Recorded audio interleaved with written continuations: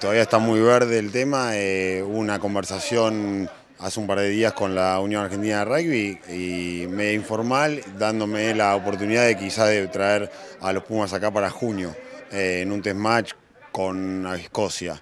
Así que bueno, nada, eh, es eso, es, sería espectacular, pero, pero no queremos tomar ninguna decisión todavía hasta no analizar bien el tema costos, cancha, eh, lugar, eh, hospedaje, un montón de, cosas que hay que poner en la carpeta para ver si es factible o no poder traerlos acá.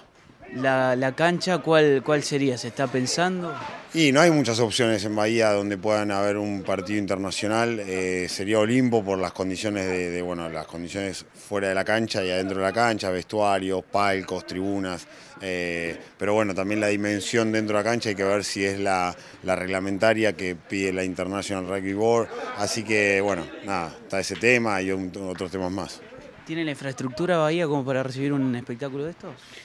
Y en cuanto, yo creo que hoteles, eh, se cuenta con buena calidad de hoteles, bueno, el estadio habría que ver este estadio, eh, y me parece que, más que nada es un tema de buena organización, de costos y, ver qué, se puede hacer. Yo creo que sí, que de, poder darse todos esos factores, eh, podemos estar a la altura de, otros, de otras provincias que, pudieron alojar a estos partidos.